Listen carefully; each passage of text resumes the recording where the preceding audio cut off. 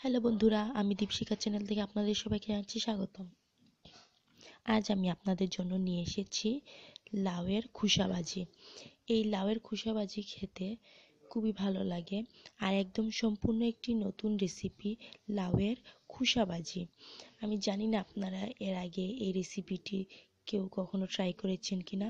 কিন্তু যদি ট্রাই করে না থাকেন, তাহলে আপনারা ট্রাই করে দেখবেন অবশ্যই ভালো লাগবে এটা। আর এটার মধ্যে পুষ্টিও অনেক বেশি। তো বন্ধুরা, এটি আপনারা অবশ্যই মিস করবেন না। চো, চলুন দেখে নিই কীভাবে এটি তৈরি করা যায়। প্রথমে এখানে আমি নিয়ে নিচ্ছি লাউয়ের খোসা। এগুলো হচ্ছে লাউয়ের খোসা। দেখুন বন্ধুরা, এগুলো আমি ধুয়ে নিয়েছি।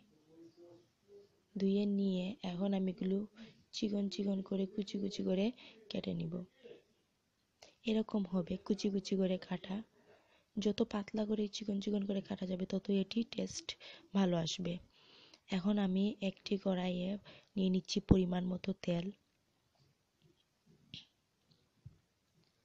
তারপর এখানে আমি দিয়ে দিব পেঁয়াজ কুচি। তারপর দিচ্ছি কাঁচামরিচ ফালি করে কাটা।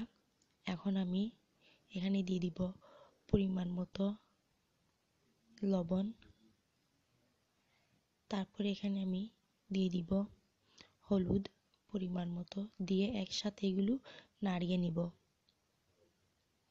এগুলো বেশি ভাজা করব না, অল্প ভাজা করে নিব। যেমন পেঁয়াজগুলো সিদ্ধ হয়ে আসবে এরকম অবস্থায় এগুলো ভাজা করে নিব।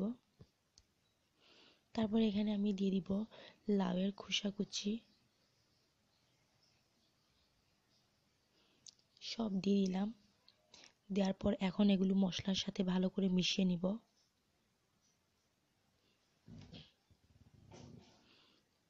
দেখুন বন্ধুরা, মশলার সাথে ভালো করে মিশিয়ে নিচ্ছি।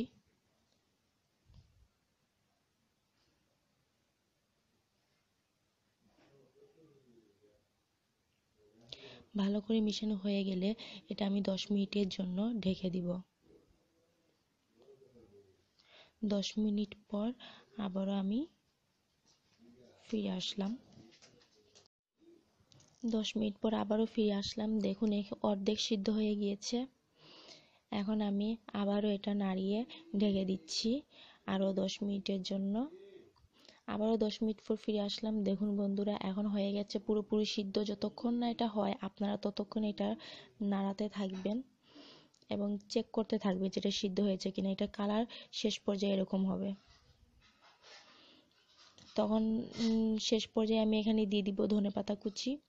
দিয়ে এটাকে আমি নামিয়ে ফেলব আরও দুই এক মিনিট চুলায় রেখে। দেখুন বন্ধুরা, হয়ে গেল আমার লাউয়ের খুসাবাজি। এটি খেতে সত্যি খুব অসাধারণ, একটি পুষ্টিকর খাবার। এটি ভাতের সাথে খুব ভালো লাগে খেতে। আপনারা অবশ্যই এটা ট্রাই করবেন আর আমার রেসিপিটি ভালো লাগলে অবশ্যই আপনারা সাবস্ক্রাইব করবেন। আমাকে কমেন্ট করে জানাবেন এটি আপনাদের কেমন লাগল। গরম ভাতের সাথে এই রেসিপিটি অবশ্যই আপনারা ট্রাই করবেন।